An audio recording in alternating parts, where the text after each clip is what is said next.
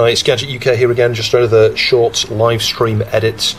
So the original video was uh, probably a couple of hours long, and I've just cut out the uh, bare essentials really, just to show how I fitted a socket onto one of these boards. This is a factory fitted one, and can you see it's a little bit bowed here at the top?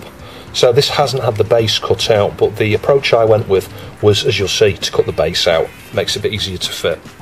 The first thing we need to do is work out which way to fit this socket. If you look at the socket super closely, just my thumb there, can you see that little mark? Little uh, arrow there? That's the pin one mark. So just uh, carefully uh, comparing it to the chip, we've got a dot there. You see that? So that's pin one, that will go like that into the socket.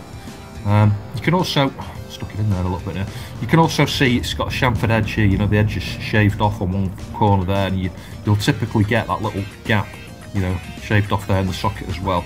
So we know that uh, pin one is here on the board here. It says this is the one on the silkscreen white. So it needs to go uh, there like that.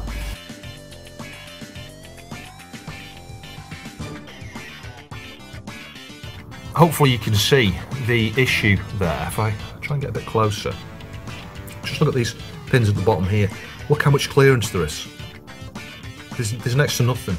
There's next to nothing at all.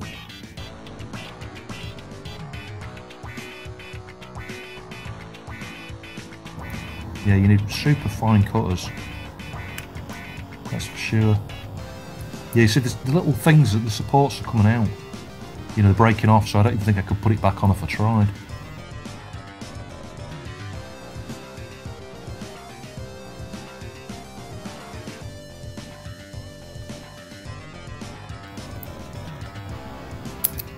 Ooh, there we go. Oh, come on. There we are. So we've got a few of the little uh, bits around it. Yeah, it's like I say, we know this is good. It's going to bow out a little bit, but if we stick that frame in afterwards, uh, I might be able to secure it with a bit of glue or something, just in the few struts that have not broken off. We just need to just carefully knock out these ones here that are just hanging off.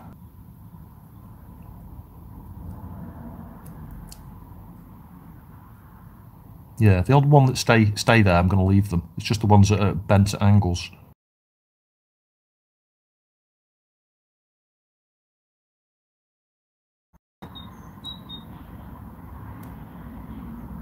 Yeah, that's one. One pin. I'll show you that one pin. See that? So it's held on that side. So all I need to do is do the same thing under magnification. A little bit more flux on this side perhaps. And then just make sure it's totally straight and uh, join the uh, pin on that side. And again, just a little bit of flux. Right, so let's uh, bring magnification in again. Again, you might not be able to see that magnifier, but trust me, I've got uh, that Mr. Magnifier. I'll show you actually, this thing. Mr. Magnifier sort of sat over there, so I can see what I am doing. And if you look at that side row there, and the bottom row, I think, sorry, wobbling, So yeah, I think that's all right. It, you know, it could be a bit better maybe, but we've got two corners anchored, and we can uh, that for just uh, stabilise the camera a minute. You know, if we just touch this side here, you can see it's stable.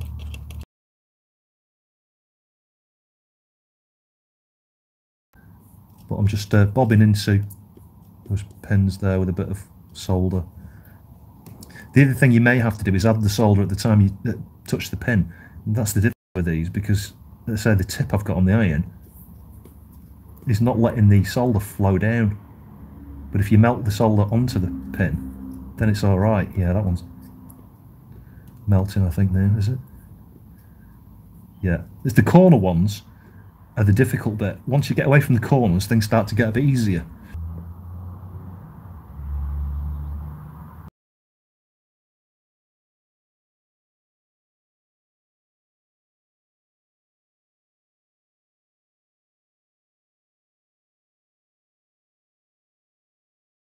A cap of IPA with a wife's toothbrush.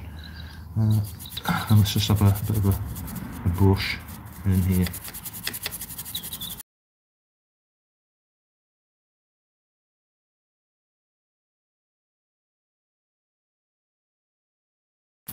Right, I think that's going to be clean enough. Uh, can always give it another clean later. So I'll use a piece of that uh, kitchen uh, towel. Start by going around the outside here on these things. Because it goes everywhere. Use the toothbrush, it spatters out onto everything in the nearby area. That's uh, no problem. Yeah, again, the shape of some of these here, they don't look great, but they are flowed. They are flowed. Um, and of course, you can do the test, you know, you can just literally just try and touch each one, just see if you can move it. But uh, that'll be all right just for now. I can reflow it later because what I would do later, I'll be honest, when I'm not on camera, I just get some flux all around here again now and I just do some drag soldering. Just drag the iron down here. I'd probably use the Hakko at that stage. Just drag the iron across and it'll all look really nice, level and smooth and like factory. And I do the same thing all the way around and then clean it all off just as you see me do with cotton buds and the, the brush. Um, the only reason I'm leaving these little bits of plastic here is because it might just help when we stick that base back in after. Can you see I fitted the base back in here as well? Um, and you can see the solder points there for just to move the camera around. It's not bad. It's not bad at all. Yeah, they look a bit blobby, but they're pretty tidy. I've not got that aligned properly, have I? Just push that back in. Yeah, there we go. And you can see, despite the fact that socket is not as structurally sound as it should be, it's not that bowed out. It looks alright. Anyway, thanks for watching. I'll catch you in the next one.